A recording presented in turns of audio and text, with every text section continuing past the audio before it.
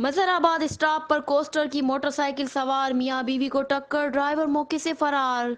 तफसीलात के मुताबिक कसूर रोड, मजहराबाद स्टॉप के करीब कोस्टर के मोटरसाइकिल सवार मियाँ बीवी को टक्कर।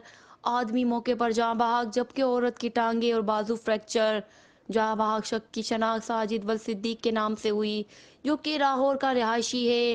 Rescue one one two two ने मौके पर पहुंचकर जख्मी औरत को तिब्बी इमदाद देते हुए टी एच टीएचक्यू मुंतकिल कर दिया। Reporter Malik Saifullah Nonari Power Plus News Dipalpur.